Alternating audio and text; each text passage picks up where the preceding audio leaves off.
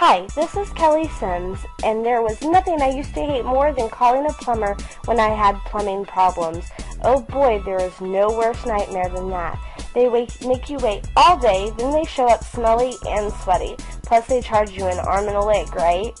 That is what I used to think until I called the pros at Ben Franklin Plumbing.